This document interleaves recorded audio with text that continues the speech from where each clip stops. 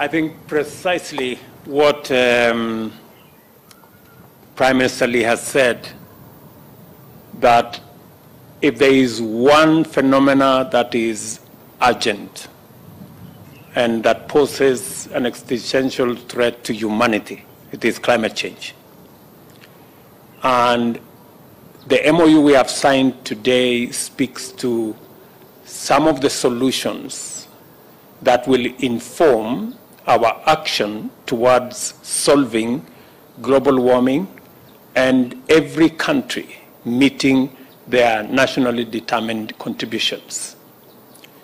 We are changing the conversation from one of finger pointing and blame game, and we are moving it away from who caused what. We are having a conversation about climate financing, about climate investment. How do we work together to ensure that we support Singapore to meet their nationally determined uh, uh, contribution. But in the process, they too help Kenya to manage the extreme situations that come with climate change in our region. So the carbon trading market is an answer to climate financing and climate investment. And, and that is the uh, new paradigm, and that is the new uh, space that Singapore and Kenya are leading.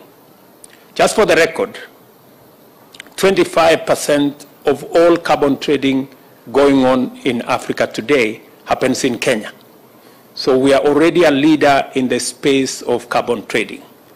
And the partnership that we're going to build with Singapore is not only going to uh, speak to scaling up our carbon trading, because I already announced that our next biggest export from Kenya will be carbon credits.